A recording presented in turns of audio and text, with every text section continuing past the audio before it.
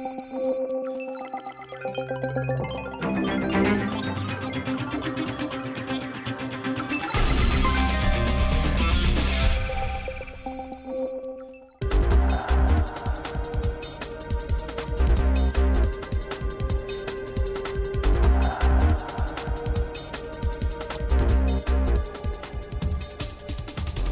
สวัสดีค่ะ คุณผู้ชมคะตอนเรับเข้าสู่รายการ Hard Topic นะคะสำหรับวันนี้ค่ะ อังคารที่ 16 กุมภาพันธ์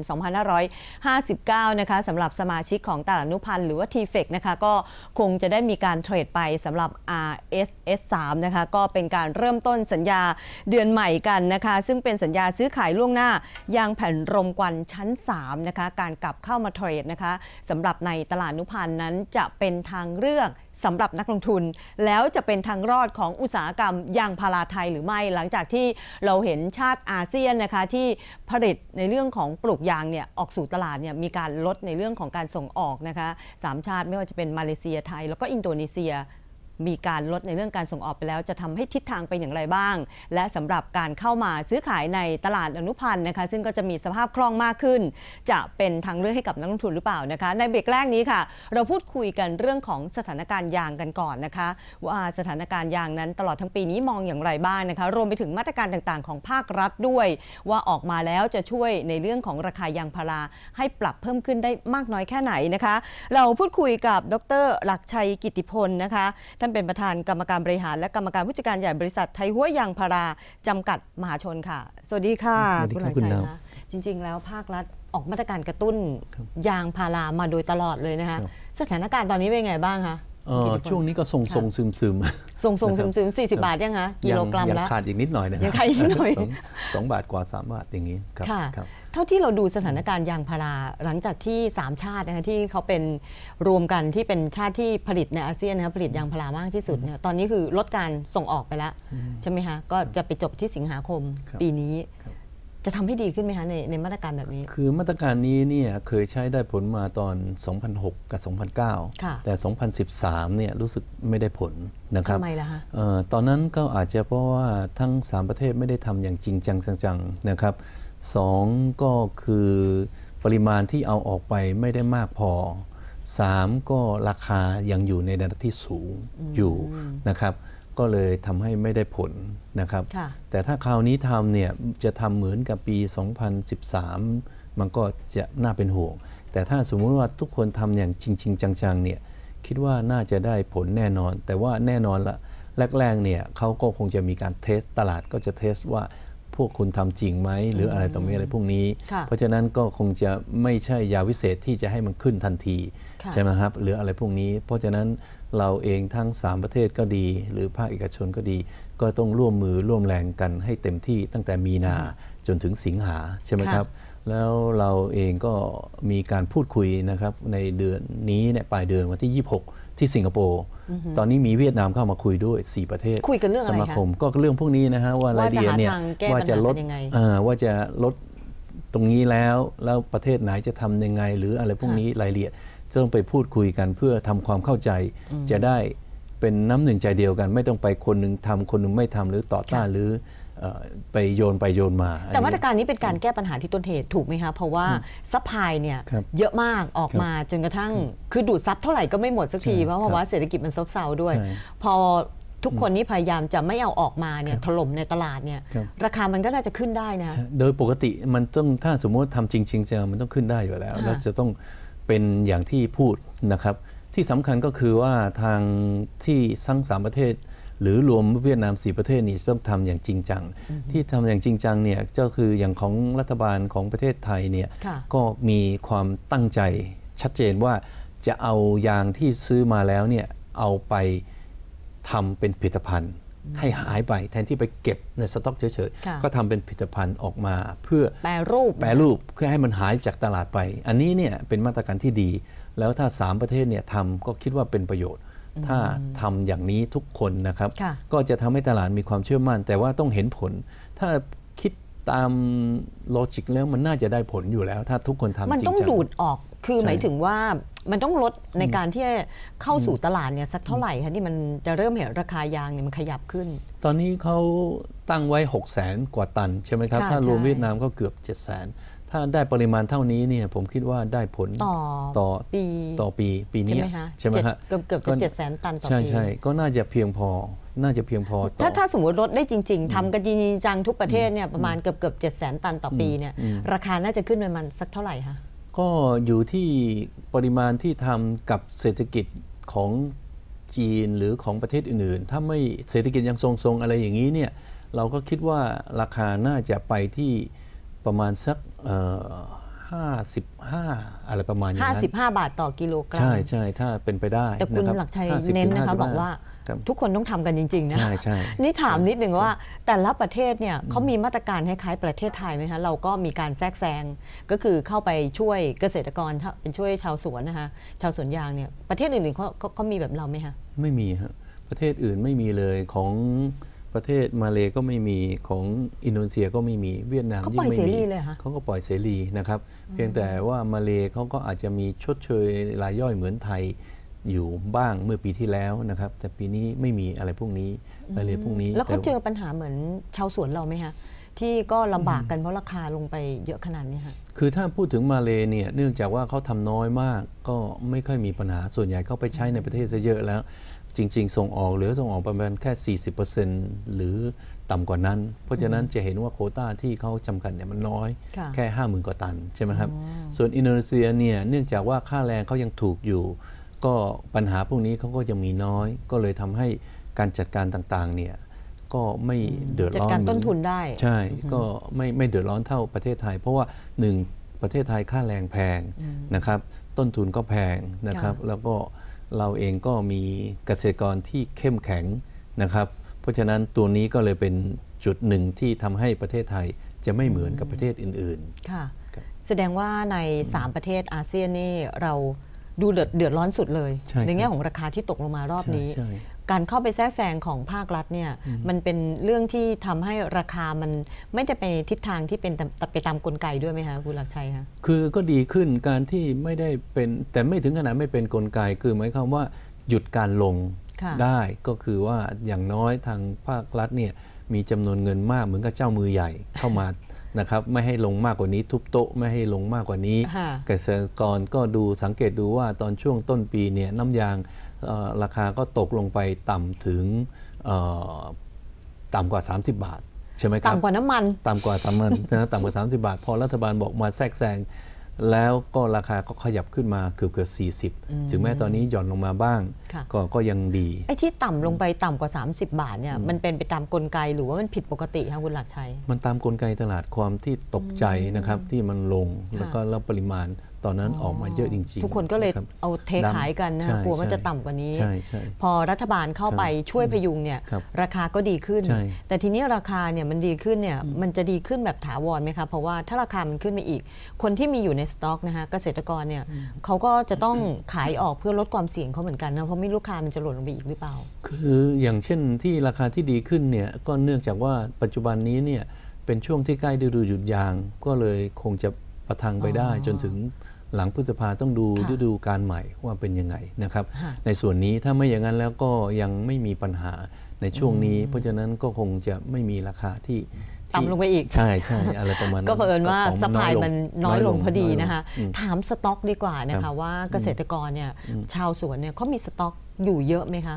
ยางที่เขากรีดๆแล้วไปเก็บไว้เป็นยางแผ่นเนี่ย คือไม่มากนะฮะเนื่องค่ะจากว่าราคายางตกต่ำอย่างนี้ทุกคนก็ไม่มีเงินกรีดมาก็พยายามขายนะครับเขาพยายามนก็จะไม่อให้มีสต็อกใช่ใช่ไหมคะบางคนก็อาจจะมีบ้างแต่ไม่มาก เพราะว่าอยู่ในสถานการณ์ที่ไม่เหมือนสมัยก่อนมีเงินเยอะๆเนี่ยก็เก็บไว้ได้ ตอนนี้เนี่ยก็รีบขายแลกเป็นเงินเพื่อมาใช้ เพราะว่าต้องมาใช้ประทังวันต่อวัน เพราะฉะนั้นในส่วนตรงนี้เนี่ยจะให้รายย่อยเก็บคงไม่ได้ แต่ถ้ารายใหญ่เนี่ยคงจะมีเก็บบ้างแต่ไม่มากนะครับปริมาณไม่มากเพราะว่า ทุกคนก็ฉลาด ราคาลงทุกวันก็ไม่อยากเก็บใช่ไหมมันฮะมันเหมือนหุ้นนะครัคะบใช่ใช่ขึ้นมาหน่อยก็ใช่ขายใช่ออกลดพอร์ตไปก่อนใช่ไหมคะใช่ประมาณนั้นราคาลงก็เดี๋ยวมีคนเก็บไหมคะเวลาลงเนี่ยยางพาราเวลา มีก็มีก็บ้ามีงมีไาคนเก็บเหมือนกันใช่ไหมมีคะมากมีบ้างแต่ไม่มากนะครับอ๋อมีค่ะคนเก็บบ้างก็แล้วแต่แต่ละคนที่ดูทิศทางตลาดเขาก็เก็บ มันไปถึงต้นน้ำเลยไหมคะที่โค่นต้นยางอย่างเงี้ยครับมีบ้างไหมคะคุณหลักชัยโคนเยอะโคนเยอะแล้วก็ทางกองทุนก็ รับสมัครแล้วก็โค่นจนเต็มโควต้า ก็ต้องขยายโควต้าไปค่ะสมัครล่วงหน้าไว้อะไรพวกนี้โค่นเยอะตอนนี้ฮะคือโเะหยุดปลูกเลยใช่แต่ว่าโค่นเอาต้นเดิมเนี่ยโค่นลงมาไปปลูกเป็นผลไม้บ้างปลูกเป็นค่ะมังไอไอ้ปาล์มมั่งอะไรพวกนี้ค่ะเนี่ยก็เป็นที่นิยมของเอ่อเกษตรกรแล้วก็เป็นที่เอ่อรัฐบาลก็ต้องการเพื่อลด supply ในอนาคต ก็คิดว่าอีกเอ่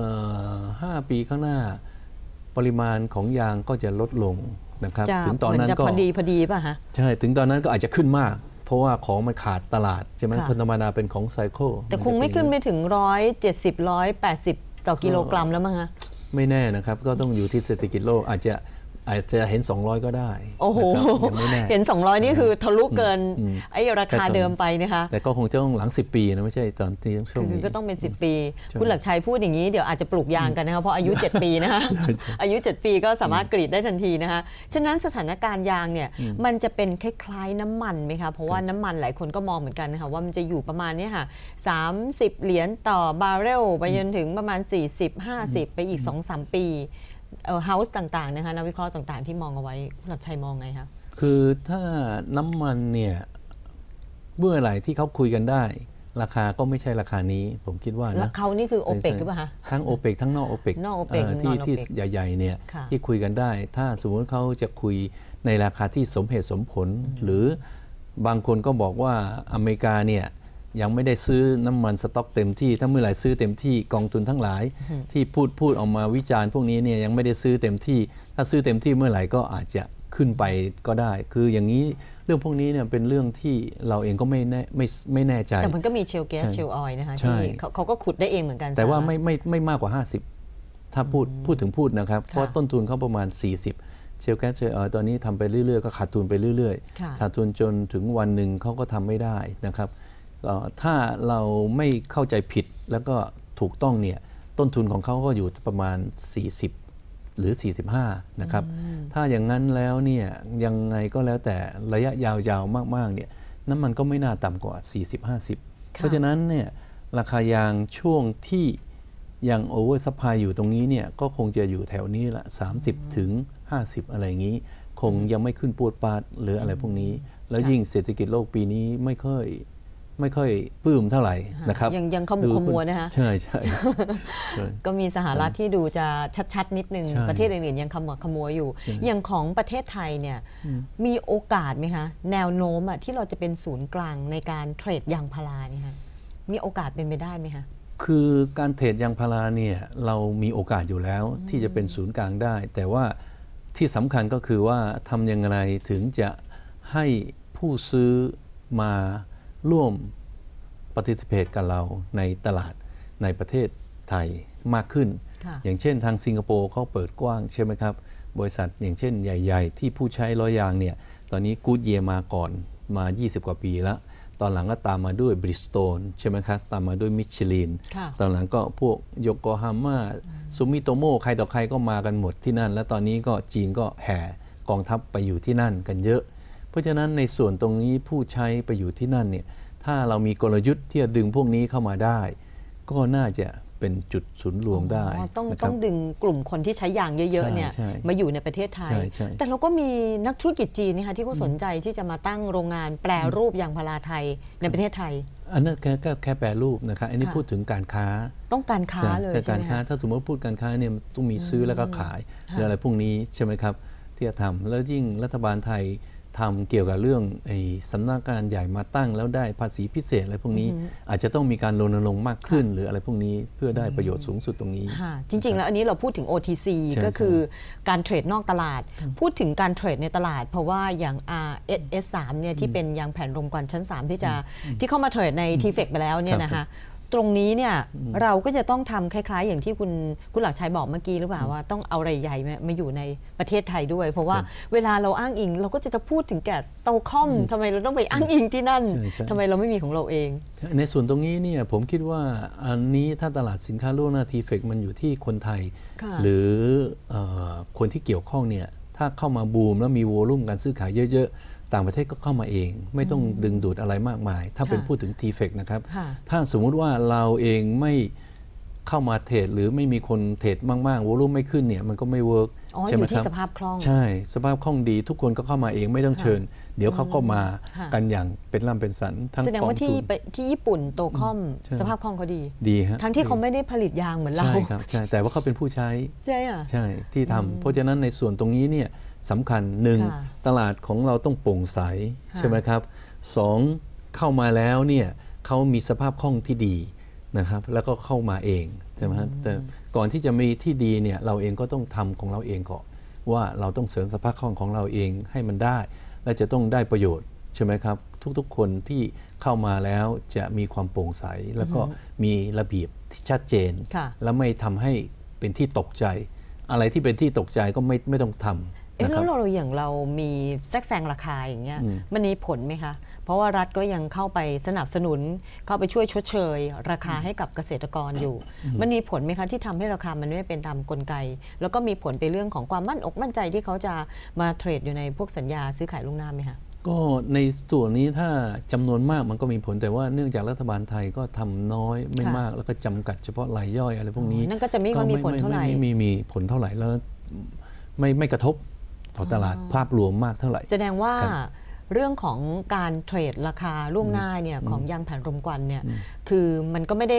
พูดง่ายๆคือไม่ได้บิดเบี้ยวมากอะใช่ใช่ไหมใช่คะมันก็เป็นครับไปตามกลไกใช่เราก็สามารถที่จะลองจะช็อตได้ใช่ในตลาดใช่ไหมคะใช่ถามคุณหลักชัยดีกว่า เพราะว่าเราเป็นผู้ส่งออก แล้วก็เป็นผู้ผลิตยางพาราเนี่ยอันดับ 3 ของประเทศไทยอะมากกว่าอันดับ 3 เราใช้ประโยชน์บ้างไหมคะกับเรื่องของการซื้อขายล่วงหน้าเนี่ยยางแผ่นรมควันชั้น3เนี่ย เราก็มีใช้เป็นบางครั้งนะครับ เราค่ะไม่ได้ใช้ตลอดเวลา แต่ว่าเนื่องจากว่าถ้าสมมุติว่าตลาดเรามีสภาพคล่อง เราก็จะใช้มากหน่อย ถ้าไม่มีสภาพคล่องเราก็จะใช้ด้วยความระมัดระวังค่ะนะครับ แต่ว่าพูดว่าอยากใช้ไหมเราก็อยากใช้ แต่ต้องมีสภาพคล่องที่ดีกว่าในอดีตนะครับก็การใช้เนื่องจากเราไม่ต้องไปยุ่งเกี่ยวกับ exchange rate ใช่ไหมครับเราขายไปแล้วเราขาดเราก็รีบซื้อตรงนี้นะครับถึงแม้ขาดทุนตรงนี้ เราก็ยังกำไรจากส่วนต่างที่จะซื้อค่ะจากสินค้าที่มา ก็เป็นการป้องกันความเสี่ยงของทางเราที่จะทำแต่ว่าต้องมีสภาพคล่องที่ดีกว่าค่ะในอตอนดีตนี้ตอนนี้ครับมีแค่อย่างเดียวเองสภาพคล่องใช่ครับคืออย่างอื่นนี่โอเคหมดแล้วใช่ไหมใช่คะสำหรับในส่วนของการซื้อขายครับ RSS ใช่3คือคุณหลักชัยเนี่ยเป็นทั้งผู้ผลิตแล้วก็เป็นทั้งผู้ส่งออกครับอย่างถ้าเป็นผู้ผลิตเนี่ยมันมาใช้ประโยชน์อะไรได้บ้างคะสำหรับในตลาด อย่างซื้อผู้ขายผล่วลิงตหน้าเนี่ยถ้าสมมุติว่าเราซื้อยางมาจากเกษตรกรยังไม่ได้ขาย เราก็มาขายที่เกษตรล่วงหน้านี้ได้ เพราะมีตั้ง 7 เดือนให้เราขาย แต่ถ้าสมมติว่าเรารับออเดอร์จากต่างประเทศออเดอร์ใหญ่ ๆ มาเราซื้อเกษตรกรไม่ทัน เราก็รีบมาซื้อในเอฟเฟกได้ เพื่อที่จะมาเฮดความเสี่ยงไว้ ที่ถ้าเราซื้อคาดว่าจะซื้อไม่ได้เราก็ต้องรีบซื้อตรงนี้ เพื่อเป็นป้องกันความเสี่ยง ค่ะนะครับป้องกันความเสี่ยงนี่คือหมายถึงว่ามันมีการส่งมอบจริงใช่เราก็จะได้ของนั้นถูกไหมคะก็ไม่เป็นไรเราไม่ส่งมอบจริงก็ได้ ถึงค่ะเวลาเราก็เนื่องจากว่าเราจะซื้อเนี่ยก็ส่วนใหญ่พวกสินค้าเกษตรล่วงหน้าเนี่ยเขาก็มีเอ่อ trade กันเดือนไกลทั้งนั้น ส่วนใกล้ๆ คงไม่ค่อยมีอยู่แล้วจำนวนเนี่ยถ้าเรา volume ของเราซื้อทีก็เยอะๆอยู่แล้วเนี่ยส่วนใหญ่ก็เป็นเดือนไกลเดือน สมมติอย่างค่ะตอนนี้เนี่ยก็เป็นของเดือน 9 เดือน 8 อะไรอย่างนี้ เพราะฉะนั้นเนี่ย ถึงเวลาถ้าเราซื้อสินค้าได้แล้วเราก็ square ออกไปก็ได้แปลว่าเป็นป้องกันระยะเวลาหนึ่ง ไม่จำเป็นต้องถือจนถึงสุดท้ายไปรับของอะไรพวกนั้นอ๋อมันได้สองอย่างครับไม่รับของก็ได้ได้นะคะไม่รับใช่ของก็ป้องกันใช่ความเสี่ยงไปนะคะใช่ใช่แต่ถ้ารับของนี่ก็ซื้อเผื่อเอาไว้ใช่อย่างไงก็มีของมาส่งที่บ้าน ใช่ครับ ใช่ไหมคะที่จะรับสินค้าค่ะเป็นสินค้าที่ได้มาตรฐาน เอ๊ะแล้วอย่างเกษตรกรเนี่ยครับเขาใช้ประโยชน์อะไรจากในตลาดนี้ได้ไหมคะได้เกษตรกรได้ความรู้จากราคา indicator ว่าแนวโน้มราคาเป็นยังไง ว่าตอนนี้ราคาเท่าไหร่ ราคาของเขาเนี่ยเกษตรกรเดี๋ยวนี้ฉลาดอยู่แล้วและเก่งเขาก็รู้อยู่แล้วราโอ้คายิ่งทิศตอนทางนี้มี 4G ใช่ไหนะคะก็ใช่ดูผ่านใช่ 4G นะใช่เนี่ยโมบายเนี่ยใช่ราคาตรงนี้เกษตรสมมติว่าเขาซื้อขายอยู่10เอ่อ30 บาทค่ะแต่ว่าสินค้าเกษตรล่วงหน้า ตั้ง 40 บาทเขาก็อาจจะยังไม่ขาย หรืออะไรพวกนี้ก็ก็ดูราคาเป็นทิศทางในการผิดของเขาอะไรพจวกริงๆนี้มันมันมันสามารถที่จะเอ่ออใช้เป็นตัวอ้างอิงได้แบบว่าสักกี่เปอร์เซ็นต์คะว่าอนาคตข้างหน้าเนี่ยมันเป็นอย่างนี้จริง ๆ ราคาที่จะเกิดขึ้น ก็โดยปกติเนี่ยถ้าสมมุติว่าเกษตรกรเขามีสวนเองมีอะไรเองมีกรีดเองเนี่ยเขา ถ้าสมมุติเขามีความรู้แล้วมีเงินมาจิ้นเขาก็อาจจะเฮสตรงนี้ก็ได้ ใช่ไหมฮะว่าระยะไกลๆเนี่ยเขาเอาพอใจราคานี้แล้ว แต่ว่าแต่ว่าต้องถึงเวลาแล้วราคาขึ้นไปก็ไม่ต้องเสียใจใช่ไหมเพราะขึ้นไปเขาจะต้องขาดทุนตรงนี้ แต่เขาก็ได้เงินกำไรจากไอ้สินค้าในมือของจริงของเขาอ๋อออะไรอย่างนี้เป็นต้นค่ะนะครับ แต่ว่าอันนั้นก็อาจจะเสี่ยงมากไปหน่อยสำหรับรายย่อย แต่เกษตรกรที่เป็นสากลหรืออะไรพวกนี้เนี่ย ก็สามารถทำเรื่องพวกนี้ได้อยู่แล้ว เพราะมีมีหน่วยงานมีคนนักบริหารที่มาดูแลตรงนี้ ผมคิดว่าก็น่าจะได้ประโยชน์ตรงนี้ค่ะนะครับปกติแล้วอย่างใครที่เข้าไปเทรด Go Future มันจะต้องอ้างอิงแล้วก็มีผลกับเรื่องของอัตราแลกเปลี่ยนใช่แต่อันนี้คือไม่มีใช่ไหมไม่คะมีเพราะว่าเขาเป็นเงินบาทอยู่แล้วนี่ใช่ไหมคะเทรดครักันบก็คือเป็นเงินบาทใช่ราคาที่อ้างอิงครับก็เป็นเงินบาทก็ FOB เป็นเงินบาทเหมือนกันใช่ FOB เหมือนกันใช่ใช่ไหมคะใช่อยู่ในประเทศทั้งหมดเลยใช่ FOB แล้วราคาที่เขาออกมาเขาก็มีความชัดเจนอยู่แล้วว่ามีค่า cess เท่าไหร่ ค่ากองทุนเท่าไหร่หักชิปปิ้งเท่าไหร่อะไรพวกนี้ เราก็คิดออกมารู้ชัดเจนว่าจริง ๆ แล้วเราจะได้ราคาเท่าไหร่นะครับค่ะแสดงว่าคุณหลักชัยเทรดในในก่อนนี้อยู่ทางเอฟเฟนะคะ Effet ครับก็ตอนนี้ก็เข้ามาเทรดในตลาด Effet อนุพันธ์ด้วยนะเป็นสินค้าอีกหนึ่งตัวนะครับที่อยู่ในตลาดอนุพันธ์ได้เข้าไป trade ด้วยครับใช่ไหมคะ trade trade เยอะไหมคะข ก็องคุณหลักชัยเราคิดว่าต้องแล้วแต่สภาพคล่องถ้ามีเยอะเราก็เทรดเยอะค่ะนะครับในอนาคตก็แล้วแต่ออเดอร์กับสินค้าที่เราซื้อค่ะอะไรพวกนี้เนี่ยเราถ้าได้เอ่อปริมาณพอสมควรเราก็อยากจะเทรดได้เต็มที่เพราะว่ามันจะได้ลดความเสี่ยงค่ะการซื้อแล้วก็ขายลดเทรดในบทบาทของนักลงทุนบ้างไหมคะ เพราะว่าเทรดในแง่ของเออผู้ผลิตกับผู้ส่งออก แล้วในในบทบาทของนักลงทุนเนี่ยคุณหลักชัยเข้าไปซื้อขายขาย RSS 3บ้างไหมคะโอ้ถ้าเป็นการลงทุนเราไม่ได้ทค่ะำเพราะว่าทำไมเราอะมีทำของ hedging อย่างเดียวที่ทำอยู่ค่ะนะ speculate หนึ่งการที่เราจะเป็นนักลงทุนเนี่ยหนึ่งเราต้องมีเวลา และต้องศึกษาข้อมูลให้ชัดเจนนะครับ เพราะว่าเอ่อเราถือว่าเป็นขาเดียวไม่มีเราต้องรับความเสี่ยงร้อเปอร์เซ็นต์นะครับ เพราะฉะนั้นค่ะต้องดูว่าเราดูทิศทางถูกต้องแล้ว ถ้าสมมุติว่าอย่างของบริษัทอย่างนี้เนี่ยเขาไม่มีปัญหาเพราะข้างหนึ่งเป็นด้านซื้อค่ะข้างหนึ่งก็ไม่เป็นด้านขาย เพื่อเป็นการแมทกันเป็นอ b ิ t า g กัน มันค่ะก็ไม่มีปัญหา แต่ถ้าสมมุติว่าซื้อขายต้องต้องต้องดูให้ชัดเจน ต้องดูให้เทรนว่าเป็นยังไง แล้วก็ที่สำคัญก็คือว่าจะต้องป้องกันความเสี่ยง โดยที่ตั้งขาดทุนไว้ให้ชัดเจนว่าสมมุติว่าเราคิดจุดว่านี้ปุ๊บต้องขายเลย ใช่ใช่ต้องคือมีต้องวิมีนัยวินัยนะครับ เทรดในตัวคอมด้วยป่ะคะที่ญี่ปุ่น ญี่ปุ่นไม่ได้ทำไม่ได้ทำใช่ไหมใช่ เพราะว่ามันมีปัญหา exchange rate อะดูสิเงินเยนเมื่อ 2 วันก่อนก็ใช่120 วันนี้เหลือน่ากลัว114 อย่างเงี้ยเรา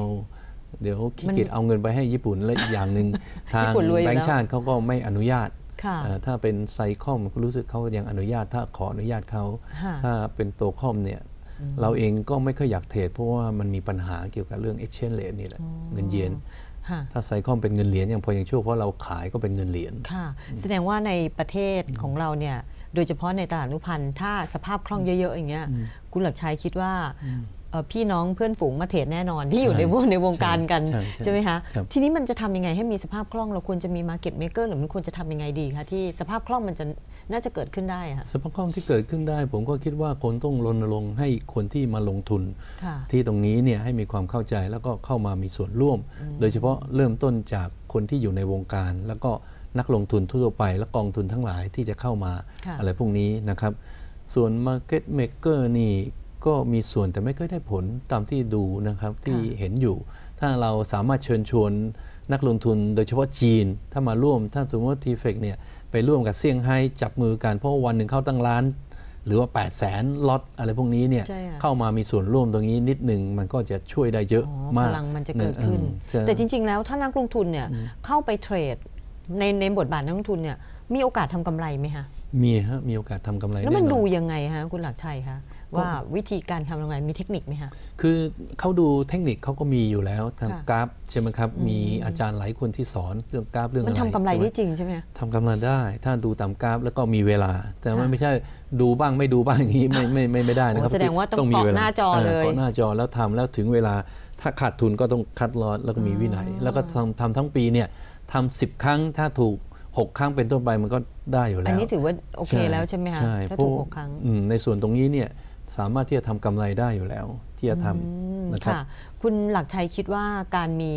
RSS 3เนี่ยมันจะเป็นทางเลือกในการลงทุน เป็นทางรอดให้กับอุตสาหกรรมยางพาราไทยได้ไหมคะถ้าเป็นเมืองไทยอะใช่แน่นอน เพราะว่า IS3 เนี่ยทั่วโลกไม่มีมีแต่เมืองไทยมี เพราะฉะนั้นถ้าเรารักษาตัวนี้เอาไว้เนี่ยเป็นประโยชน์สำหรับเอ่อประเทศไทยแน่นอนใช่ไหมครับ เพราะว่าตอนนี้เนี่ย IS3 ที่เราใช้อยู่ก็มีญี่ปุ่น แล้วก็มีไซคอมสิงคโปร์ แล้วก็มีที่เซี่ยงไฮ้ที่ไปส่งมอบได้ ที่อื่นเนี่ยอย่างเช่นที่เอ่อญี่ปุ่นเนี่ยยางแท่งเขาก็ทำแล้วไม่ work ค่ะเอ่อไม่มีคนนิยมใช่ไหมครับยางแท่งของสิงคโปร์ทำแล้ว work มีคนนิยมนะครับแล้วก็ที่จีนเขาก็มีที่ชิงเต่าทำยางแท่งก็มี volume แต่ไม่เยอะค่ะนะครับที่เยอะจริง ๆ ก็คือพวกยางเบอร์สามถ้าเบอร์สามประเทศไทยเป็นผู้ทำคนเดียว แล้วเป็นผู้ส่งออกอันดับหนึ่งของโลกเนี่ยถ้าไม่รักษาตรงนี้ไม่ทำตรงนี้ ปล่อยให้ล้มหายตายจากมันก็น่าเสียดาย แล้วถึงเวลาเราก็มาพูดบอกว่าเอ่อประเทศอื่น เอาความเป็นศูนย์ไป แต่เราเองไม่ทำอะไรมันจะเป็นศูนย์ก็ไม่ได้ เราต้องทำการบ้านเยอะๆ แล้วก็ช่วยกันมา คนละไม้คนละมือค่ะถึงจะได้อ่าอันนี้ก็ถือว่าเป็นทางเลือกในการลงทุนนะคะ แล้วก็เป็นทางรอดสำหรับอุตสาหกรรมยางพาราไทยด้วยนะคะเกษตรกร นอกจากว่าจะได้รับเงินสนับสนุนจากภาครัฐแล้วเมื่อสักครู่นี้คุณหลักชัยก็บอกไปนะคะเกษตรกรก็สามารถที่จะพิจิกหรือว่าพยากรณ์นะคะราคาได้เพราะอันนี้มันเป็นราคาอ้างอิงข้างหน้านะคะ ก็สามารถบริหารเรื่องของการ เก็บเกี่ยวได้ใช่ไหมคะวางแผนในเรื่องของการผลิตได้นะคะ วันนี้ขอบพระคุณมากๆเลยนะคะคุณหลักชัยคะที่มาฉายภาพเราเห็นนะคะ เกี่ยวกับเรื่องสถานการณ์ยางพาราไทยขอบพระคุณมากค่ะ